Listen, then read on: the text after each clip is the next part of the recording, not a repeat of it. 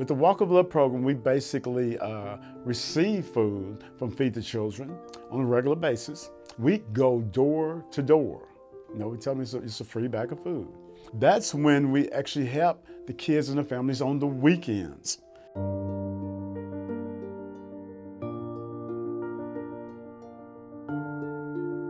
The name of our program is Kids Love to Read. And so with the books that we get from Feed the Children, it, it supplies that program.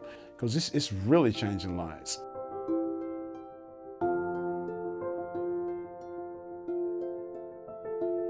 Give a child food.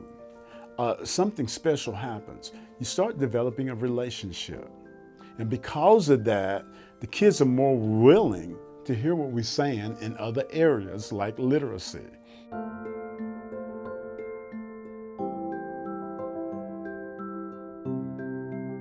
Yeah, any kind of community that you see like this, we've been in it. And Feed the Children has touched it.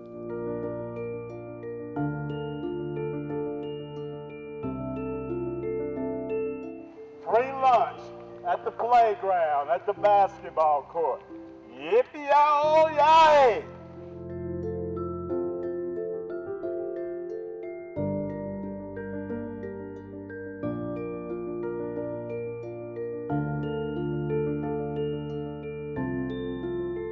We're just honored and privileged to be the hands and the feet behind the heart of your mission. Yeah, that's good.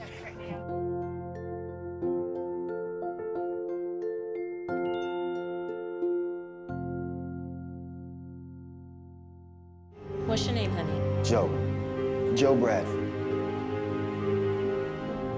Joe. This is my good friend from when we were kids, Miss Sam. Give it up.